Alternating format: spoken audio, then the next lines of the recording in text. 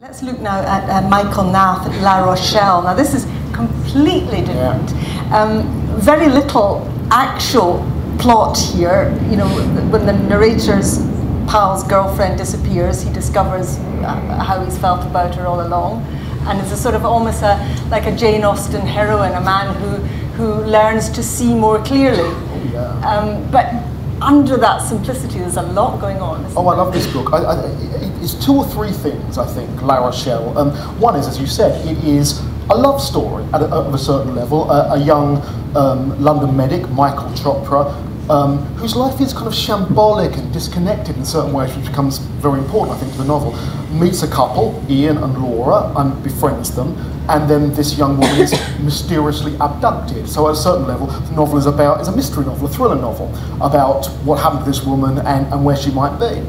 And of course, it's got a Petrarchan element, you know, Laura, Laura, this sense of um, a deep love investment. And yet, what becomes really interesting in the novel to me is it has that structure, and yet I became, as you, as you did, I think, when reading it, more and more interested in how this male protagonist struggles and tries to put aspects of his life together. His life is, in some senses, I said, disconnected, and he tries to give it some type of narrative order or authority. And I think even uh, even as he's becoming more and more sozzled, as even uh, yeah, it's, it's saturated in and one can become really high-minded about this. I said it tries to give this his world narrative order and authority. One thing to say about this book is it's fabulously funny. It's laugh out loud funny.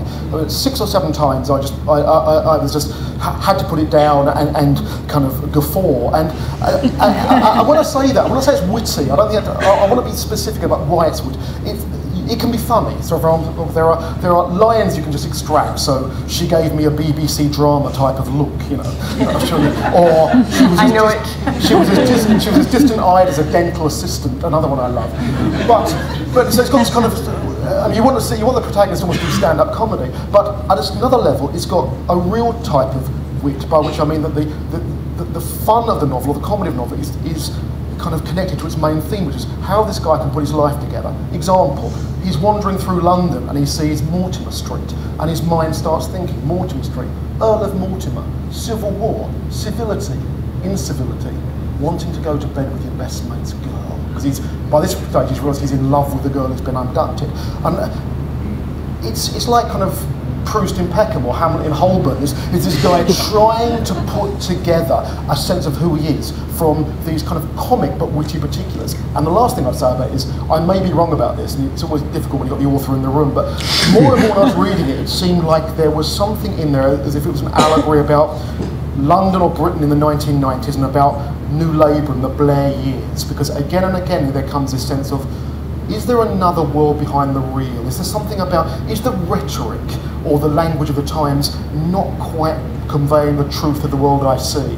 At one point, the, the narrator says, how much of a ritual is going on here? If, in some senses, what you're being told about the culture you're living in is, is being spun or dissimulated. It's, it's, it, I think it's a type of really interesting, potent political allegory in that I'm still kind of putting together in well, my you head. can ask. You can ask. I can ask him later. And just, and just very briefly, I mean, this is a debut novel, and yet it's got oh. a tremendous assurance of tone. You wouldn't have picked it out as being a first. You would not, and and it's one of those books where I think two things. One is, as I've done to several of my long-suffering friends, it's the kind of book that makes you want to importune your friends. Read this one, and you begin by just saying it's funny, but you'll then find out much more about it than that.